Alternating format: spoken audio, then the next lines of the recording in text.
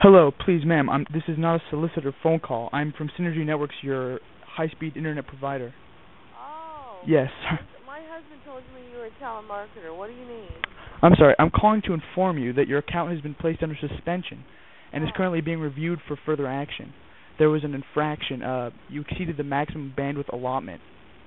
Wait just a minute. Ronnie, you need to take this. It's something about our internet. They suspended our internet. Something that Joel's done, I guess. You need to come in. You just need to come here. Something's happened on our internet. Hello? Hello. This is Mike Hunt from Synergy Networks. Okay, I'm sorry. Go ahead. Um, we've placed your account under suspension uh, until further action will be taken. Uh, you exceeded your maximum bandwidth allotment.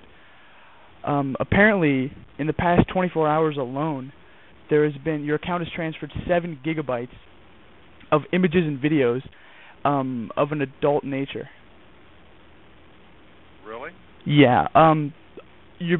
I'll be frank with you. Uh, your computer is being used to peddle massive amounts of pornographic material, and uh, it's it's coming up on our uh, system, and it's it's costing a lot of money. I had no idea that was going on.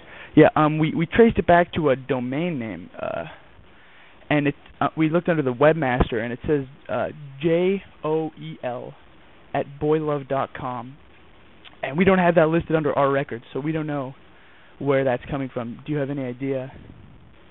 No, but I'm going to try to find out. Okay. Um, we're gonna keep your account under watch, and a supervisor will get back to you.